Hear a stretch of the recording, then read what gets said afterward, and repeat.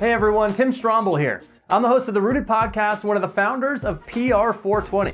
We're posting this quick video today to tell you that Rootd and PR420 have officially merged together and will be co-producing a new weekly video show called The Rootd, where we'll hit on current events, talk about the business side of the cannabis industry, and get your opinion when it comes to all sorts of cannabis industry related topics. So stay tuned for more information that we can't reveal yet, like when the show debuts, which is soon by the way, and where you'll be able to watch it, which is a ton of different places. Those announcements should be coming up in the next couple days or weeks. So till then, don't forget to work hard, be humble, and stay rooted.